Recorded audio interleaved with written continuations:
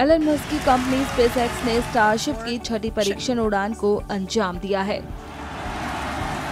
प्रक्षेपण टेक्सास के बोका चिका से हुआ। इस दौरान स्पेसएक्स के रॉकेट विकास केंद्र पर निर्वाचित अमेरिकी राष्ट्रपति डोनाल्ड ट्रंप भी मौजूद रहे।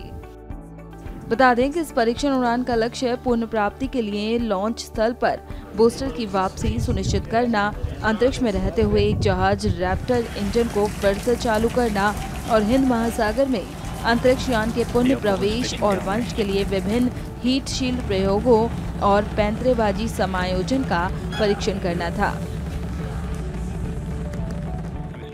avionics, power, and telemetry nominal. We do see all 33 Raptor engines lit up on telemetry screens.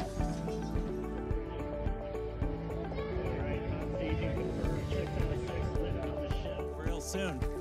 From our view here, Dan, um, great views. Nominal orbit insertion. There's that call out we were waiting for. Confirmation of.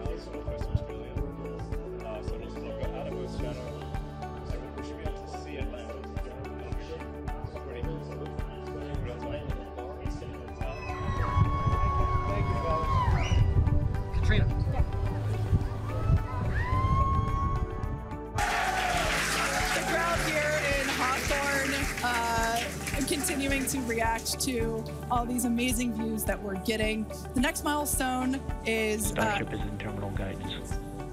great news there. Uh, uh, Starship terminal guidance, referring to what we see here on our screen, the upper stage, uh, at uh, about eight minutes 35 seconds or so, we have ship engine cutoff, which will be the cutoff of the uh, the, the Raptor engines.